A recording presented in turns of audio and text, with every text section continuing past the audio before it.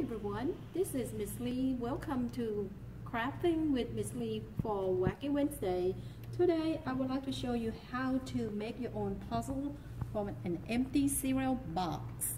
So let's go ahead and get started. Okay everybody, uh, let's go over what we need for this project. So you will need empty cereal box like one of these you will need to open up.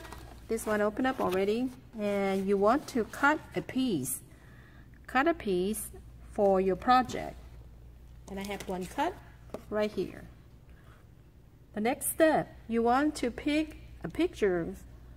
You can either make a copy from a book or from internet. And I have some copy made. And if you are new to making a puzzles I suggest you use something simple like this image. So I pick a toucan. Here's my copy. Once you pick out an image, you cut around and then you will trace the outline onto your prepared piece. Here's one I have traced already. So the next step, you will paint entire image. And I have one paint right here. Now I use acrylic paint.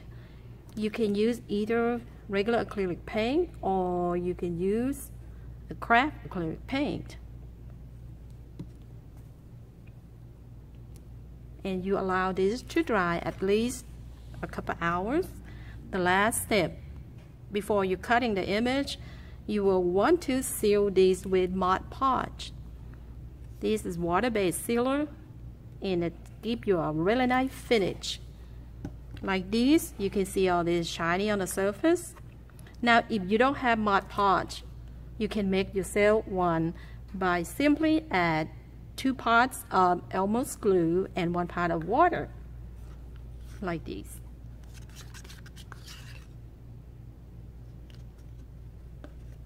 And I have a sample made ahead of time. You can see this one is homemade Mod Podge and this one is store-bought you can see a little bit of shiny on the surface.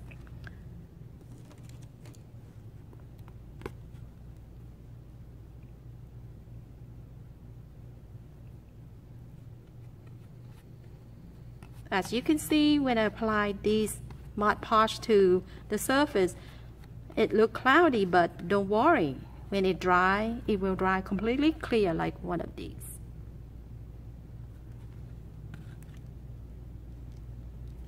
Once you have Mod Podge completely dry, you want to flip to the back of this painting. Now you see that I already drew all these lines for puzzle pieces and you want to make sure you have a square piece like mine. This is about an inch and a half square pieces. Now when you get to the end, don't worry if you don't have a perfectly square, that's completely fine.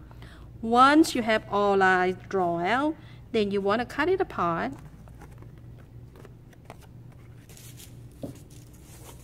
And I have one cut apart already right here.